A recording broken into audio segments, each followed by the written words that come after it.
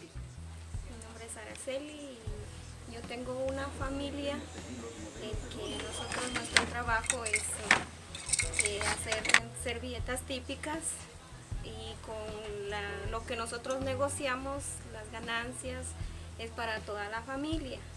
Con eso nosotros nos ayudamos para nuestro que comer diario, de los estudios de los niños. Eh, ese es el negocio que nosotros hacemos para sostener a la familia. Eh, el préstamo estoy utilizando en comprar materiales. Eh, hilo para las costuras de diferentes colores, diferentes estilos. Eh, gracias de todas maneras a todos los que nos han ayudado de, desde otro país para que nosotros podamos alimentar a nuestra familia y salir un poco más avanzados. Tal vez no tanto, pero sí, gracias a ellos nosotros hemos logrado salir un poquito. Sí, eso es lo que les damos gracias a todos.